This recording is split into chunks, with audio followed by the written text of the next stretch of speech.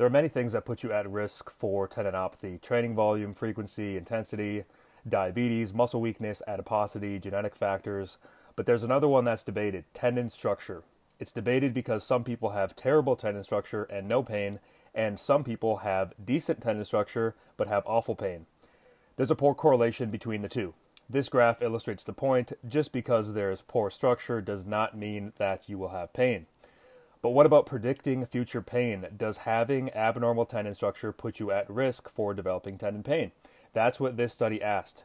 They said uh, it was titled, Can Ultrasound Imaging Predict the Development of Achilles and Patellar Tendinopathy? A Systematic Review and Meta Analysis.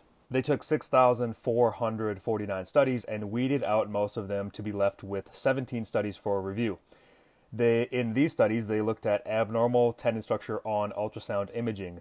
They looked at tendon thickening, hypoechogenicity, thickness, and vascularity. So, what did they find?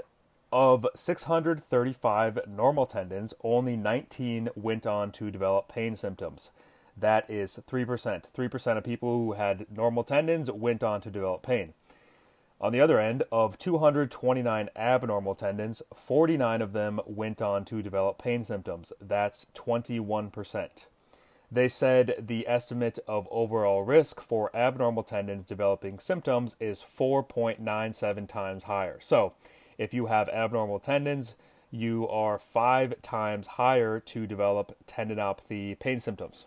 So, theoretically, in a sample of 100 athletes, as many as 59 of them will have asymptomatic abnormal structure on ultrasound imaging, and as few as nine of these 59 may go on to develop future symptoms.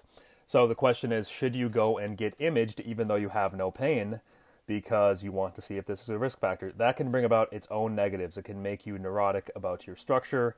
Uh, you might see something that you don't want to see, especially if you have no symptoms.